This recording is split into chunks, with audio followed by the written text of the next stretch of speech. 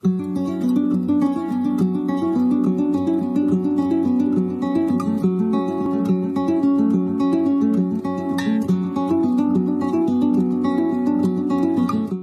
называю этот период лабораторией.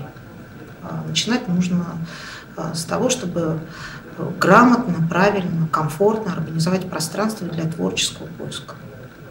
А, и в творческий поиск э, как раз попадает э, выбор материала, отбор участников.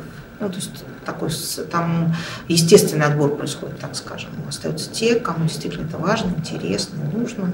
И Конечно, здесь такой момент человеческого и профессионального контакта, то есть мотивации и каких-то душевных связей между педагогами, тьютерами особыми людьми, которым потом предстоит выйти на сцену.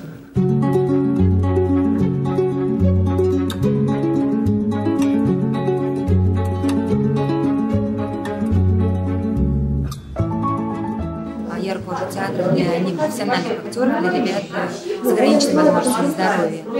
И самая главная эмоция, которую я считаю получила, тот импульс, который дала мне Яна, в том, что мы имеем право жить, имеем право развиваться, такой вид творчества, какой, мы занимаемся, а, работать с такими людьми и развивать дальше этих людей и себя через них.